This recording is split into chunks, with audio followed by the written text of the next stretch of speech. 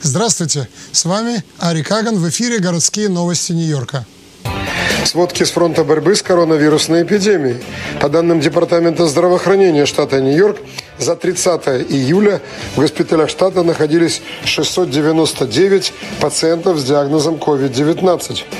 2,4% тестов на COVID-19 в этот день вернулись с позитивными результатами. Это самый высокий показатель за последние три месяца. Три жителя штата Нью-Йорк ушли из жизни из-за коронавируса 30 июля. И 30 же июля в пятницу было зарегистрировано 3050 новых случаев заражения коронавирусом в штате Нью-Йорк. Опять же, самый высокий показатель за последние три месяца. На этой неделе ожидаются решения мэра и губернатора по поводу обязательного ношения масок и лицевых покрытий внутри помещений. Пока мэр и губернатор колебались и внимательно следили за ситуацией с коронавирусной эпидемией.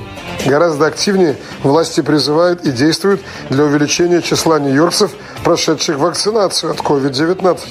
На сегодняшний день почти 99% всех новых госпитализаций с диагнозом коронавирус среди нью-йоркцев, не прошедших вакцинацию. При этом вакцины компаний Pfizer, Moderna и Johnson Johnson сейчас доступны для всех нью-йоркцев в возрасте старше 12 лет. И кроме того, эти прививки абсолютно бесплатные. С сегодняшнего дня все работники системы здравоохранения города Нью-Йорка обязаны либо предъявить доказательства вакцинации от COVID-19, либо представить доказательства негативных результатов тестов на коронавирус, иначе они не будут допущены к работе. С 13 сентября аналогичные правила вступают в силу для всех муниципальных и штатных сотрудников, а с 6 сентября для всех федеральных служащих. Частный же сектор экономики принимает решения самостоятельно. Например, авиакомпании и ряд банков тоже уже объявили, что будут требовать от своих работников пройти вакцинацию прививками компаний Pfizer, Moderna и Johnson Johnson. Ежедневно в штате Нью-Йорк сейчас делают эти жизненно важные прививки. 42 200 прививок в день происходит. Уже более 75% нью-йоркцев в возрасте 18 лет прошли вакцинацию. Самый, уз, самый низкий уровень вакцинации сейчас в городе на Стэтен-Айленде и в Южном Бруклине. На этой неделе ожидается голосование в Сенате США за двухпартийный законопроект по модернизации устаревшей инфраструктуры американских городов и штатов, мостов, дорог, тоннелей, водохранилищ, систем общественного транспорта, развитие скоростного интернета. Общая стоимость предлагаемого законопроекта 1 триллион 200 миллиардов долларов. Его поддерживает президент США Джозеф Байден и более 60 сенаторов.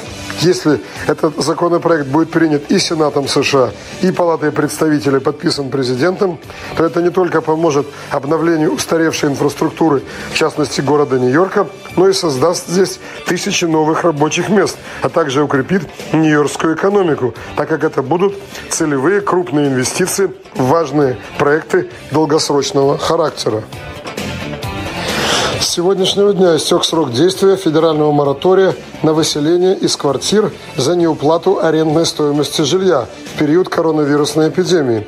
Суды штата Нью-Йорк имеют право с сегодняшнего дня принимать к рассмотрению дела о выселении жильцов, задолженность которых за несколько месяцев по квартплате была существенная.